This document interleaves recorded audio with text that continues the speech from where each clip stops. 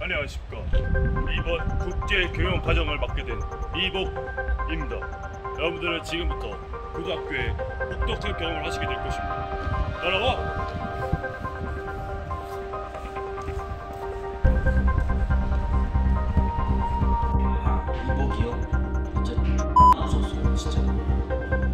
시작에 앞서 술 담배 한 사람 있어? 없습니다! 너는 이런 거 절대 안 한다 알겠어? 알겠습니다! 예. 이게 뭐야? 대답은 이제부터 악으로 통일한다. 알겠어? 아 지금부터 국제 경영반을 소개할게. 우리 학교는 국제 중점 학교이고 논현고등학교와 컨퍼런스를 자주 해. 그리고 우리는 이제 국제반은 체험학습 같은 걸 많이 하고 이제 창업 같은 동아리가 많아서 비즈쿨 같은 이런 대회에서 상 같은 것도 많이 탔어. 그리고 이제 카이타 고등학교와 일본에 위치해 있는 카이타 고등학교와 자매 결연을 해갖고 우리는 교환 학생들이 자주 왔다 갔다 해. 그리고 내년에 서- 도림고등학교 이사해. 어때 괜찮지? 아! 그래 이번 시간은 체육이야. 따라와.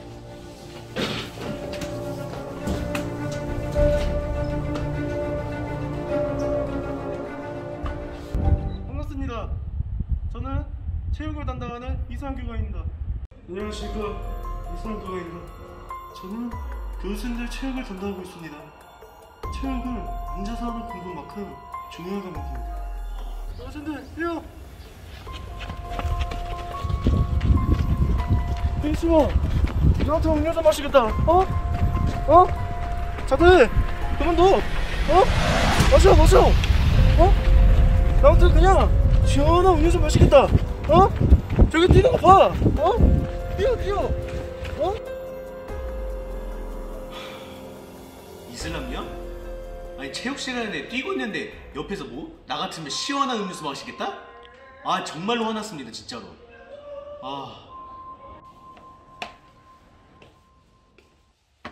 더 열심히 해.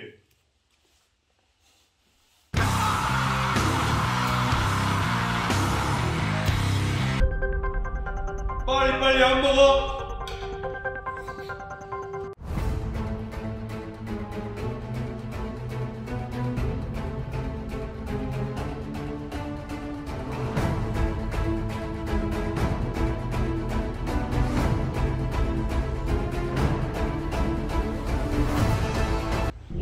오늘 특별관이 끝났어.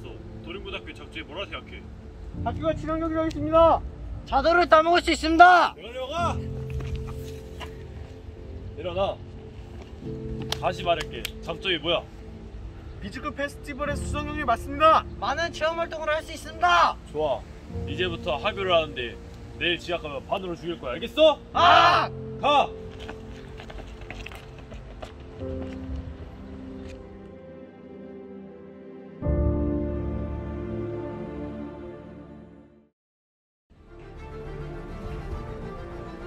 이번 교육생들은 사실 다 처음이었기 때문에 다 부실했어요.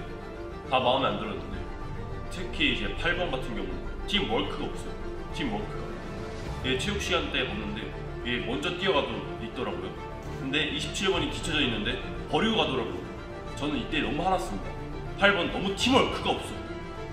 하지만 그래도 교육생들이 매우 잘 따라줬기 때문에 저로서는 매우 뿌듯합니다.